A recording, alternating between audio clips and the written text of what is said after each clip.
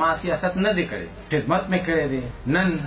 د واسیا بعد د سیمې اعلان کوم چې په سیاست کې زه برپور ایسا اخلم د نرتوب لاس سره در کوم چې څه ویم په هغې باندې ودرېږم عزت غواړو او دغه تمه به دنه ساتو کوم صورتحال چې په مرکز کې جوړ شوی دی هر یو سړی کې او هر یو کس کې مایوسی پیدا شوی ده مونږه د ټکراو ماحول نه غواړو مونږه غواړو چې دا قوم د دې مایوسینا روزي د فاټا د امزمام چې کومې خبرې کېدې هغه به د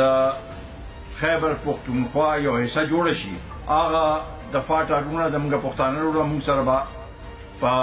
دې هغه کې مونږ به د هغوی خدمت کوو هغوی به مونږ سره په دې هغه کې یو ځای په دې باندې مونږ پیګو نه کله د رواج اکټ خبره کوي کله وای چې دې کې به وخت لګي مونږ په ساده الفاظو کې دا ویل غواړو